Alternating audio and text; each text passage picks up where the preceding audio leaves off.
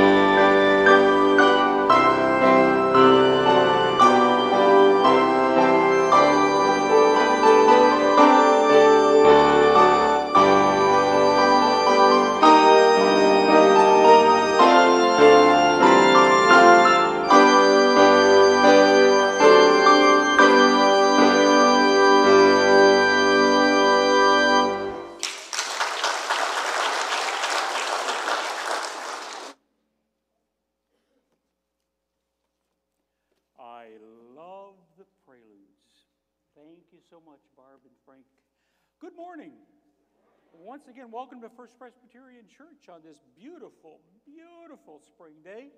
And uh, Pastor Paul is uh, somewhere within the United States right now, and I know that uh, he's having a good time, I think, with one of his daughters or a couple of his daughters. So uh, keep him in your prayers. I'm glad I can be here with you, and pray for me since I'll be a one armed paper hanger this morning.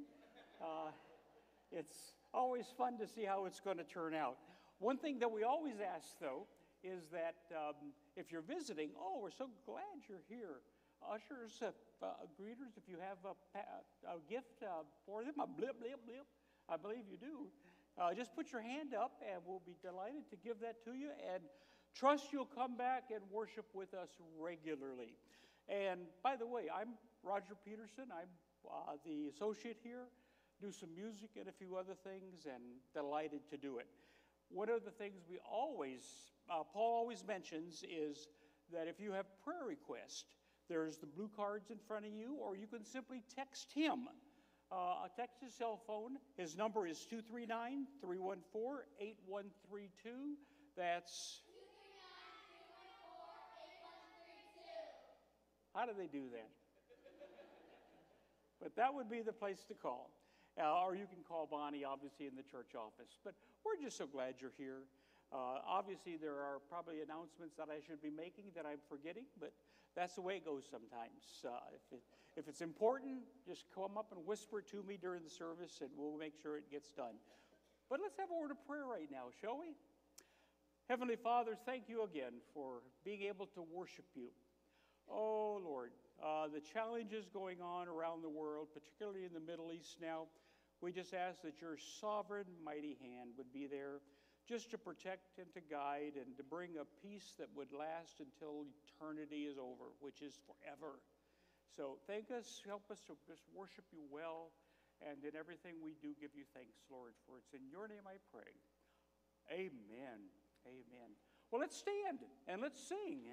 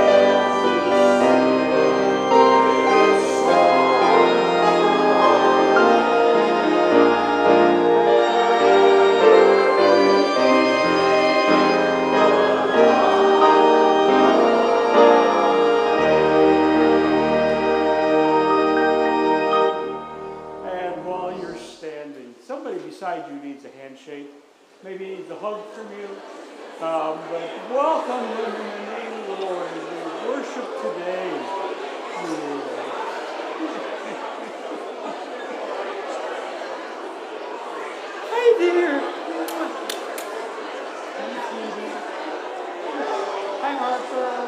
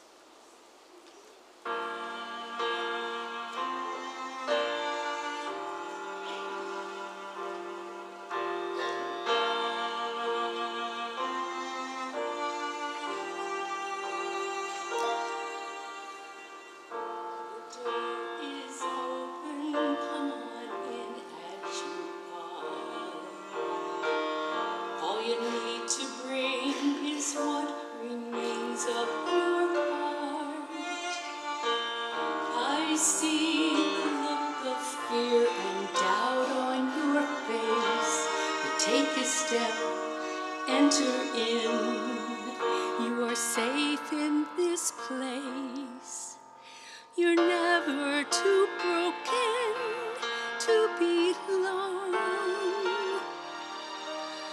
Never too wounded, never too far gone.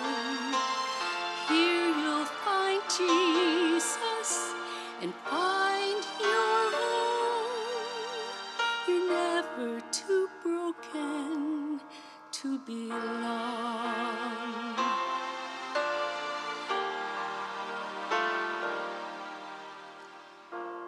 find the perfect love that no one deserves. A peace so sweet it can't be put into words. And grace that's greater than the darkest of sin.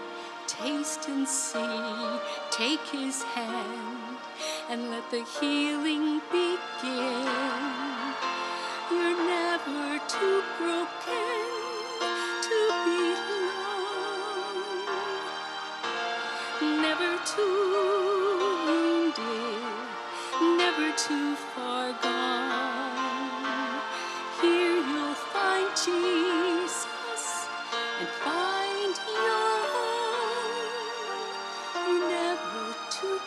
too to belong. We too were wounded and defeated, so we know how you feel. But by the wounds of our Redeemer,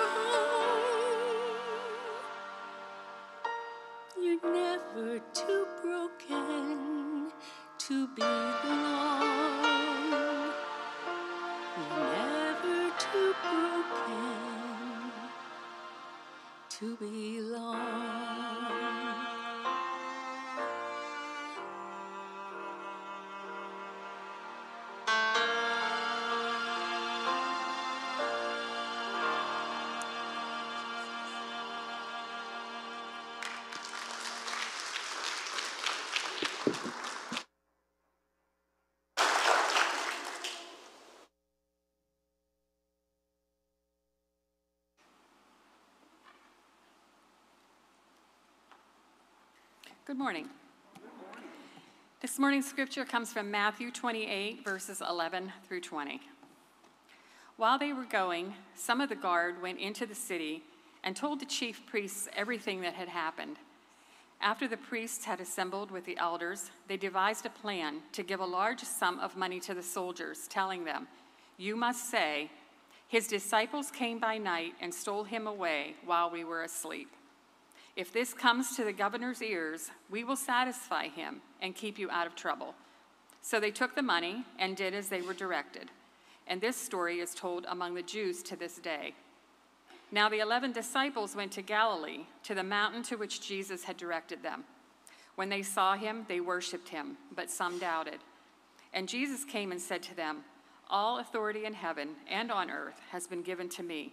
Go therefore and make disciples of all nations baptizing them in the name of the Father, and of the Son, and of the Holy Spirit, and teaching them to obey everything that I have commanded you.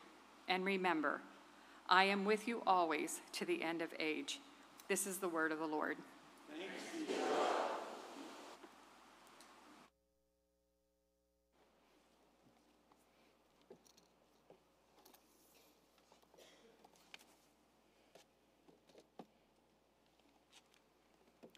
Would you join me, please, in our unison prayer of confession? Heavenly Father, thank you for sending your Son to show us the way to eternal life. Thank you for the assurance of our sins forgiven and the promise of your presence with us today, tomorrow, and forever. Thank you for your never ending grace to love us in spite of our failures.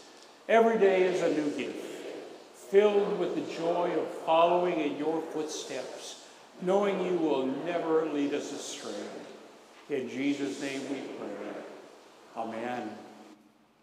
Scriptures are very clear that if we say that we have not sinned, we lie and we just aren't telling the truth.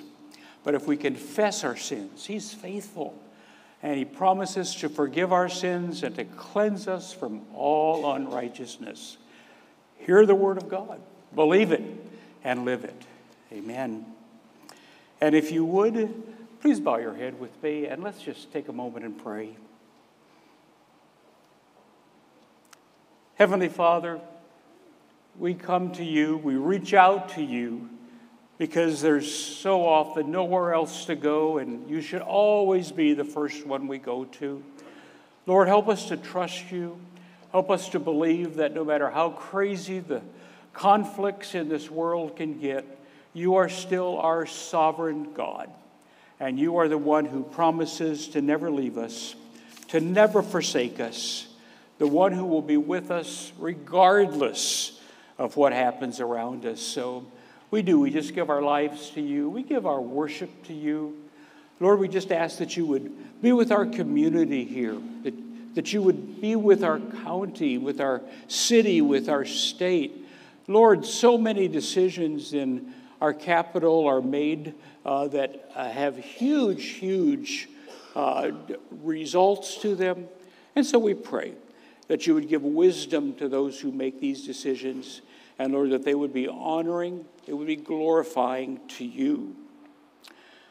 Lord, we just ask that uh, for those who are being challenged right now with physical things, Lord, would you just give them hope and give them comfort? Lord, for all those other things that face complications in our lives at work, financial issues, Lord, some are marital problems, family problems. Lord, all of these things are things that you know about.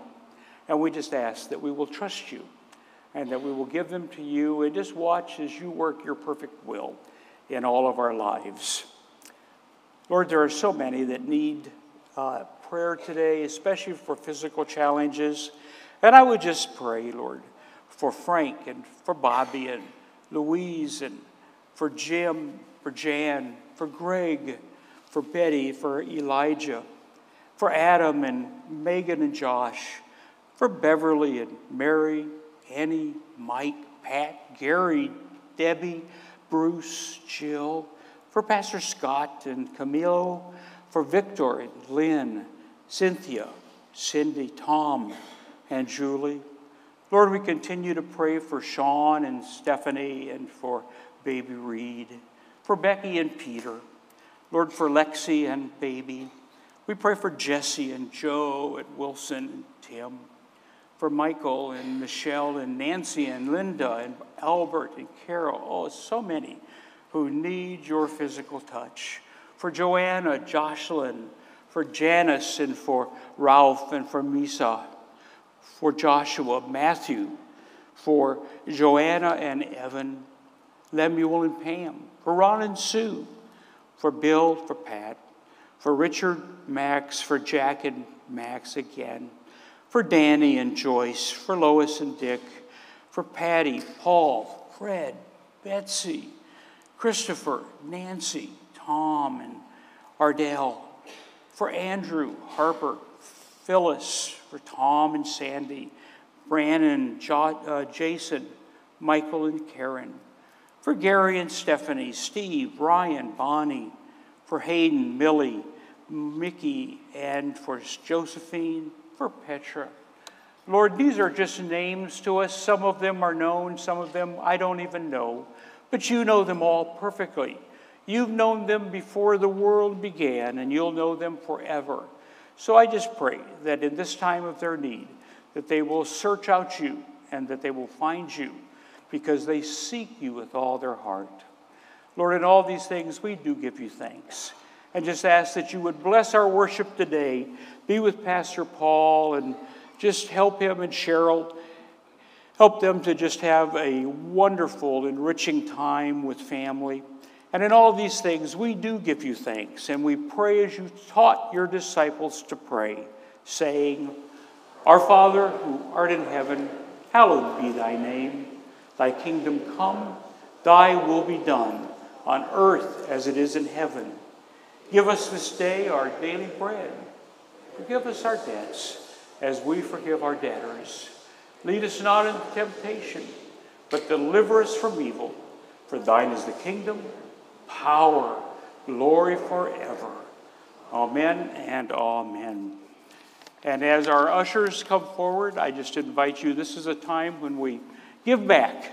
And we just ask that the tithes and offerings and gifts that you give will be used to honor God, build his kingdom, and build his, his people and his church here right at First Pres. God bless you.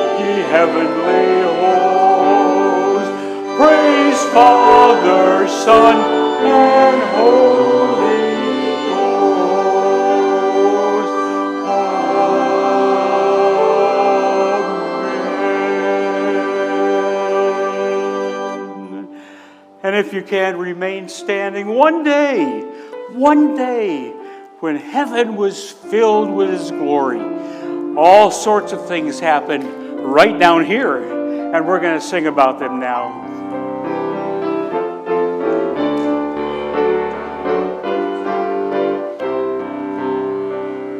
One day when heaven was filled with his praises, one day when sin was as black as could be, Jesus came forth to be born of a virgin, dwelt amongst men, my example is he. Living he loved me, dying he saved me, buried he carried my sins far away, rising he justified freely forever. One day he's coming, oh glorious day. One day they led him up Calvary's mountain. One day to die on a tree, suffering anguish, despised and rejected, bearing our sins, my Redeemer is he. Living he loved me, dying he saved me, buried he carried my sins far away, rising he justified freely forever. One day he's coming, oh glorious day. One day the grave could conceal him no longer. One day the stone rolled away from the door.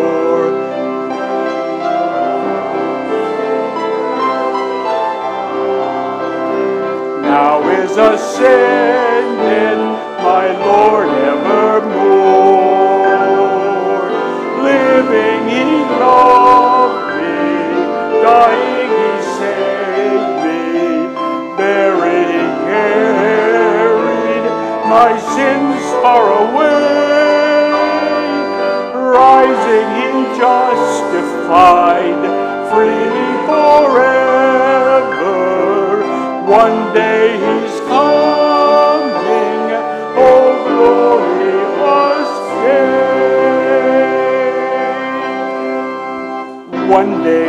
trumpet shall sound for his coming. One day the skies with his glory will shine. Wonderful day, my beloved one bringing. Glorious Savior, this Jesus is mine. Living he loved me, dying he saved my sins far away,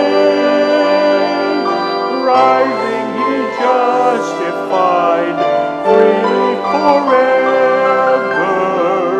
One day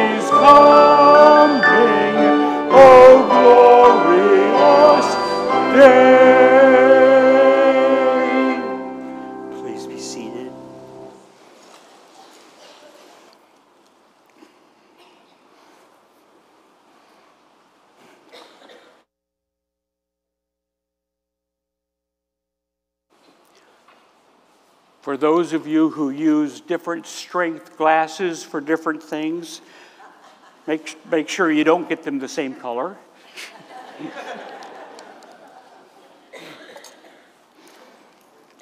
The passage of Scripture that I'm going to read for you, we've gone through this before, but there's so, so, so many different truths from Isaiah chapter 6 that uh, just to share a few more of them with you today.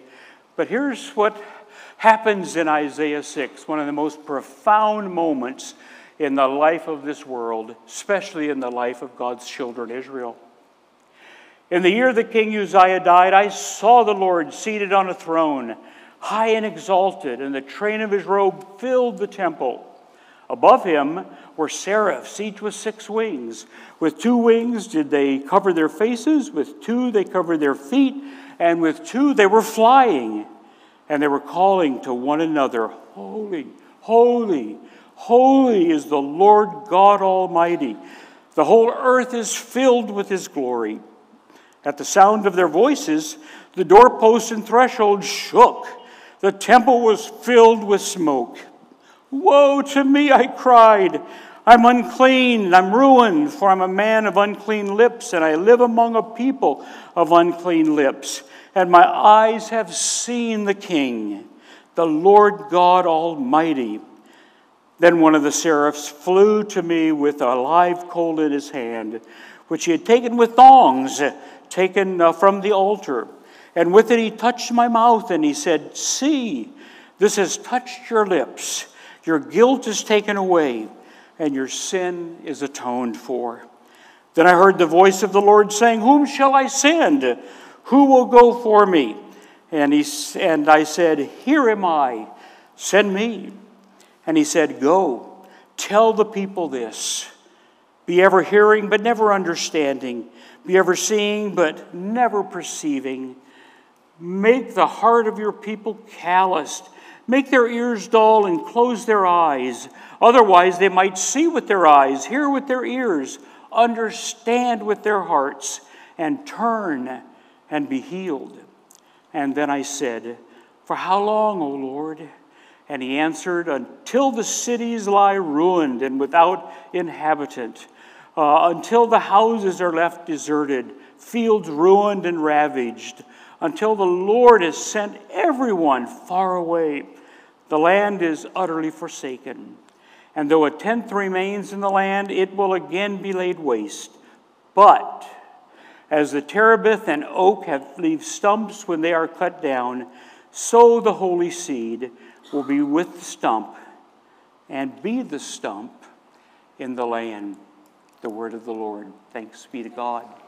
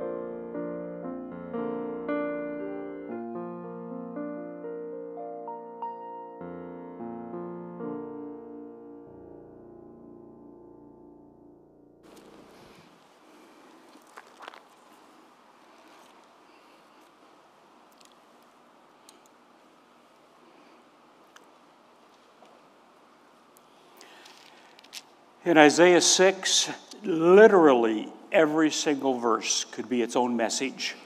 Such a powerful, powerful chapter. Um, and we we are going to share some things that perhaps you've heard me share before from Isaiah 6, but it's such a beautiful, uh, interesting, awesome uh, chapter in God's Word. Uh, but I want to focus most of all on just the opening words of this chapter in Isaiah 6. Listen to this. In the year that King Uzziah died, I saw the Lord. Why did Isaiah start this chapter like that? What was so special about King Uzziah? Uh, and that's certainly a good question. King Uzziah.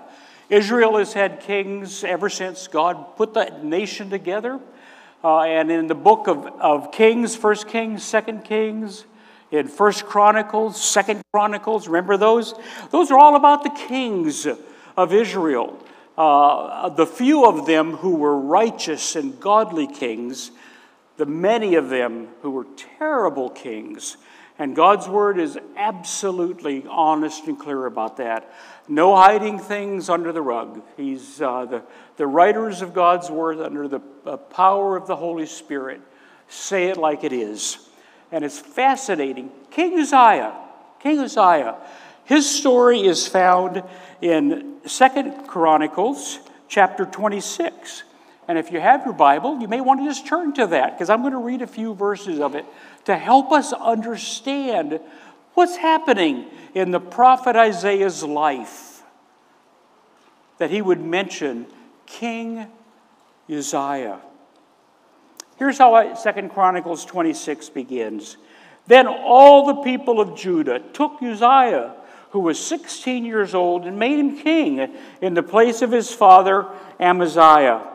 He was the one who rebuilt Elath and restored uh, Judah after Amaziah rested with his fathers. Uzziah was 16 years old when he became king, and he reigned in Jerusalem 52 years. 52 years. Mother's name was all of this. I'm not going to just skip it because we really don't need that. It's the, the point of the story goes on down in verse uh, 16. King Uzziah, righteous king as he begins his reign, godly king uh, throughout his reign until. But after Uzziah became powerful, his pride led him to a downfall. He was unfaithful to the Lord, his God, and entered the temple of the Lord to burn incense on the altar of incense. Azariah the priest, with 80 other courageous priests of the Lord, one of whom was probably Isaiah, uh, followed him in. So I, King Uzziah is in the temple now. He's the king, he's not the prophet. King is, is very powerful, but that's not his place to go into the temple and to offer incense. That's a no no, a huge no no. So, it says in verse 18, they confronted him and said, It's not right for you, Uzziah, to burn incense to the Lord.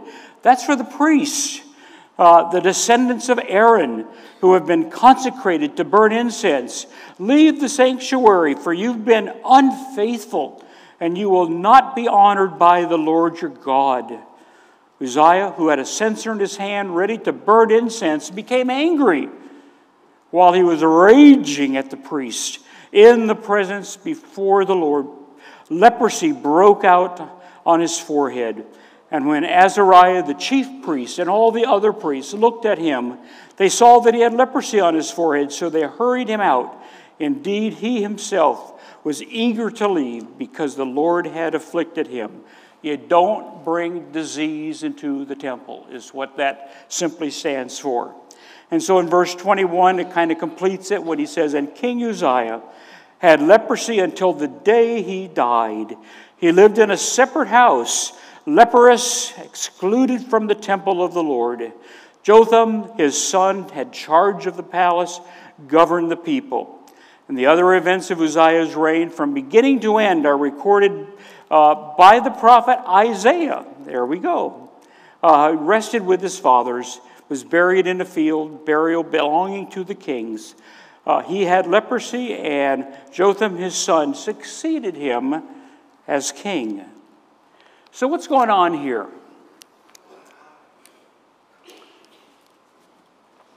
Uzziah, good king. 52 years he reigned. That's one of the longest reigns of any king in the whole history of Israel. And yet, like so many kings, not just back then, but leaders today, the longer he served,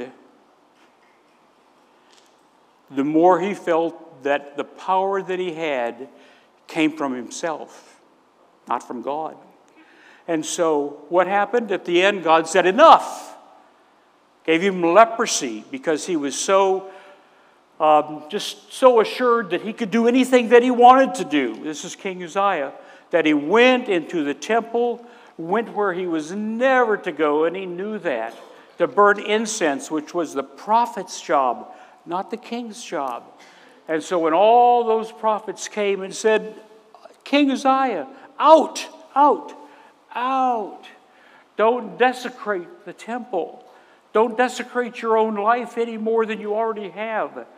He laughed and he raged, and he did what so many of the kings of Israel did. He started his reign filled with the Lord, filled with the desire to serve the Lord, to follow the Lord, to do the Lord's will, to build things and to do things for his God. But as he got older, he turned to himself and he had to be judged for it. You know, there's a truth to that. This was written almost 2,700 years ago, about 700 years before Christ. Think of that 2,700 years ago. And yet, even today, how often it is that those who are faithful followers of the Lord, teaching in their churches, uh, ministering in the way that God had called them to, but as they get older, as they start understanding more and more and more of what it means to be a leader, they become not more of a godly leader, but they become an ungodly leader. And the tragedy is, we hear it so often on the news another pastor has fallen. Another one has given in to uh, the carnal lusts that we have, given in to greed, given in to whatever it may be but given in to things that God did not call him to do. And that was King Uzziah. King Uzziah started out so well, and yet after 52 years of service, he was he was no longer a godly man. He simply wasn't following God's way. And oh my goodness, Isaiah called him out on it. Called him out. And then we see that after King Uzziah died, what does what in the world does Isaiah do? The very temple that King Uzziah had entered wrongfully to burn incense to the Lord wrongfully, that very temple in Jerusalem is the one now that Isaiah enters in in Isaiah chapter 6. I can't imagine what's going on in his mind as he enters there. He's probably discouraged. Uh, God, why? You ever said that? God, why is this happening? God, why did you allow him to do that? God, why do you allow me to do the things that I do when I know that I shouldn't? And so, as Isaiah enters the temple, had to have been filled with grief, with discouragement, wondering where in the world is the nation of Israel, the kingdom of Judah, going to go from now on? And God then did an amazing thing for Isaiah. God showed himself. God shows himself to you and to me as well. Often it's well, not often, pretty much all the time. It's not in such an incredible way as he showed himself to Isaiah, but he shows himself to us to remind us that we are not alone, that our service is not forgotten. It'll never be ignored by our Lord. And so that's what happened with Isaiah. It says he entered the temple, and lo and behold, he saw the Lord seated on a throne, high and exalted. The train of his robe filled the temple. Above him were seraphs with wings, and it talks about how those wings were used. And they were crying to one another a song that we love to sing here Holy, holy is the Lord God Almighty. The whole earth is full of his glory. In your mind, don't have to sing it out loud, but just think of this song Holy, holy, holy Lord God Almighty, early in the morning our song shall rise to thee. Holy, holy, holy. There is none beside thee, which word and art and evermore shall be. And so we get to sing the song that the seraphs gave to Isaiah so many centuries ago. Hmm. They gave him more than a song, though, didn't they? As Isaiah is there in the temple, overwhelmed by the presence of the Lord in so many glorious ways. It says that he bowed himself. He literally cringed, is probably the way that the original would have said it, as he realized how unworthy he was. He had no right being in God's presence uh, a God who could do the things that he was doing there uh, in the temple. But God then sent his uh, messengers, the seraphs, to him. They brought a live coal. You ever barbecued with live coals? Sure. Nice and glowing red. One thing you don't do um, often, you get a coal. What happened? Gary's looking at me here. You get a coal that falls out of the pile. So you got to do something with that coal. It's not doing any good over there at the corner of the grill. So you got to brush it back in. But you can't find anything to brush it in with. So you do what you know you shouldn't do. You take your hand, you try and make it a little wet so it won't hurt as much, and you flick it. Try and get that coal back in there. And it's hot. That's the image that I see of the seraph as he brings this live, living coal to the prophet Isaiah and says, Take this. And he touches Isaiah's lips with it. And he says, God has cleansed your lips, He's cleansed your heart all the things that you are so worried about and discouraged about were done by others, and they shall see their reward. But you don't have to take it on yourself. You are cleansed. And God has a job for you, Isaiah. It's an important job. And after seeing all this, what can Isaiah do except to say, Of course, anything. Here I am. Send me. And then he hears what his assignment is when the Lord begins it by saying, The people of God will, are ever hearing but never understanding. Uh, they're seeing but they're not perceiving. Make the heart of the people callous. And I can almost see Isaiah in his mind going, What did I just say? Here am I, send me. Lord, you want me to deliver that message? It's more like I'm now saying, Here am I, Send me? He didn't want to do it. And none of us want, would want an assignment like that from God. Nobody likes sharing bad news, especially when we have to share it with people that we know, people that we love, that the way that they're living, the goals that they have, how they're doing the thing called life is not God's way. And that's what Isaiah had to tell to, um, was, was the Lord was saying to Isaiah. The people of God have strayed so far because uh, the king has led them astray. The king has not guided them, and people being people will do what their leaders do. And so, what I think my prayer is of everything for this passage is that we would understand God wants us to follow Him, not allow ourselves to just um, go, go the way of leaders who are not following the Lord, uh, not believe that what they're saying is right, and therefore, because they're our leader, we've got to go ahead and do that. No, God is our leader. The Lord God Almighty. Holy, holy, holy is the Lord God Almighty. He's the one that we must follow. My goodness. I've, I've decided we're going to end the service just a little bit different. And Pastor Paul, if you're listening, I'm not going to scare you, I promise.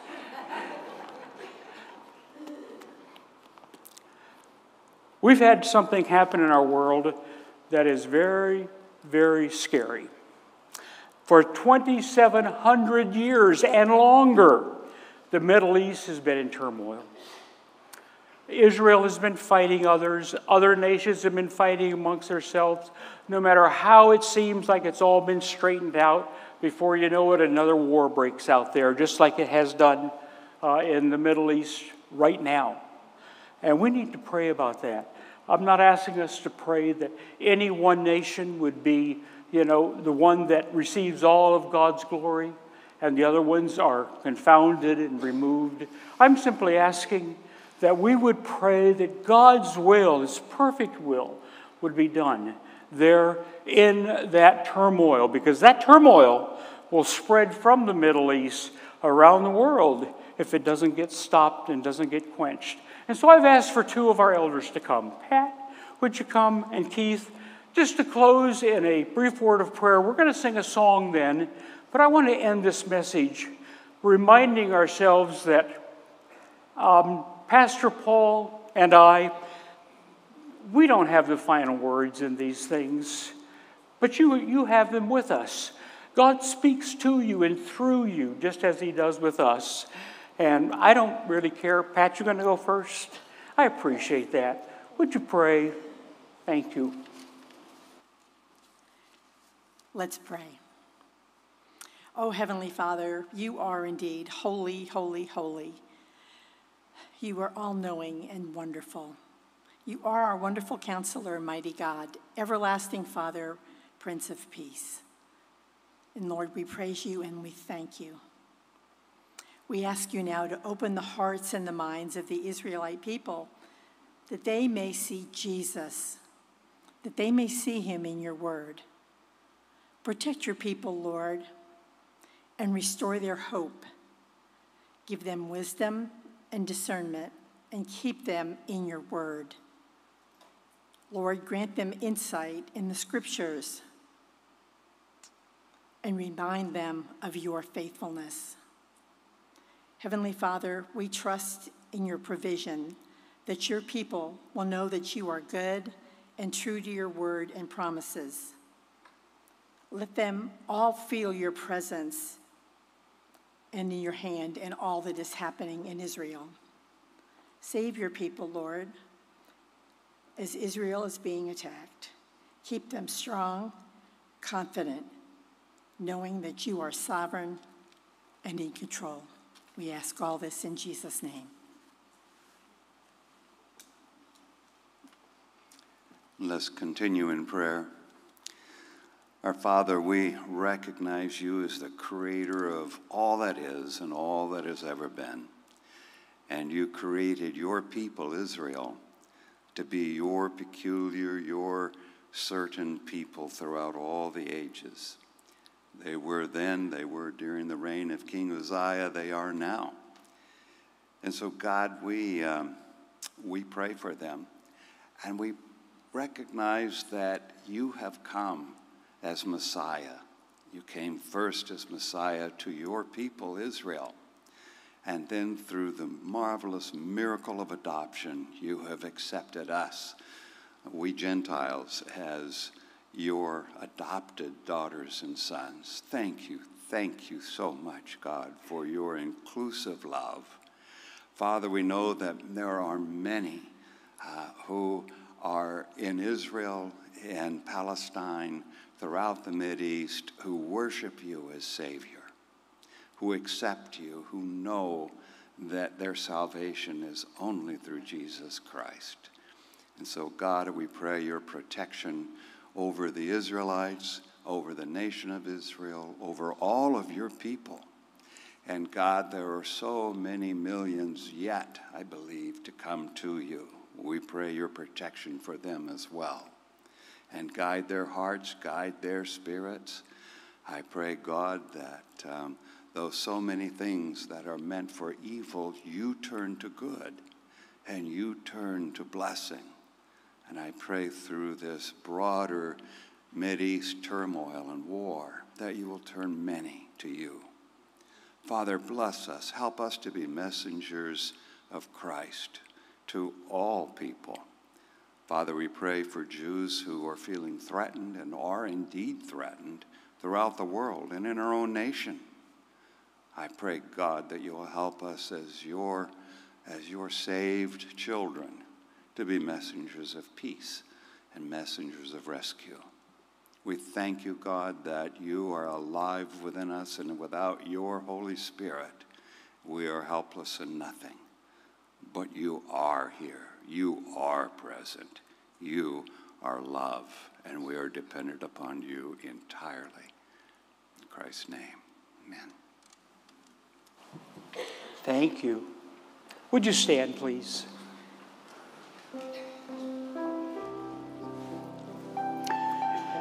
The scriptures are not simply to be read and memorized and have a beautiful Bible laying on a counter table somewhere. They're to be followed. And so let's sing this beautiful, simple song. I have decided. I have decided to follow Jesus. I have decided to follow Jesus. I have decided to follow turning back, no turning back. The world behind me, the cross before me. The world behind me, the cross before me. The world behind me, the cross before me. turning back, though none go with me. No, though none go with me, I still Though none go with me, I still will follow. No turning back, no turning back. Lord, we give our lives afresh and anew to you this day. Lord, use us. Help us to not say that I'm here, Lord, and I'll follow you. Say it with a question mark. Help us to say it with an exclamation point. We will follow you. We love you, Lord. We ask you to guide us. We ask you to protect this world in the only way that you know how and that you can, and that's through your power and through your glory. Lord, we pray all of this in your glorious, matchless name. Amen.